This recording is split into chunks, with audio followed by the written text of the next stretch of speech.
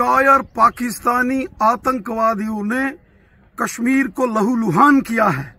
कश्मीरियत का कत्ल किया गया है भारतीय जनता पार्टी के कार्यकर्ता एजाज अहमद शेख साहब को, जिस बेरहमी से, निर्ममता से दक्षिण कश्मीर के शोपियान में उनका कत्ल किया गया है, ये इंसानियत को दागदार कर दिया है। ये मानवता का कत्ल है, ये कश्मीरियत को लहूलुहान किया है।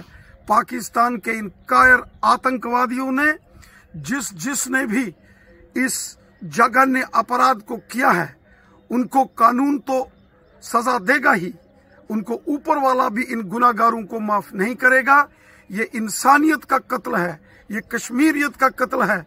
एक ऐसा नौजवान जो गरीबों का, मस्किनों का, जयीफों का हमदर्द था।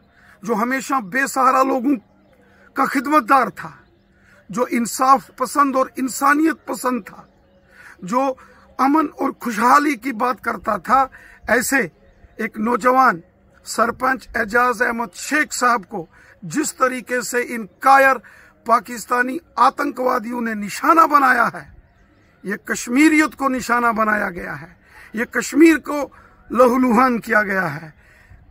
एजाज अहमद शेख साहब के गुनागारों को सजा मिलेगी। ज़मीन के पाताल से भी ढूंढकर इन गुनागारों को, उनके इन गुनाहों की सजा दी जाएगी। ये नाकाबले बर्दाश्त है। इसको किसी सूरत में भी इसको इन गुनागारों को बख्शा नहीं जाएगा।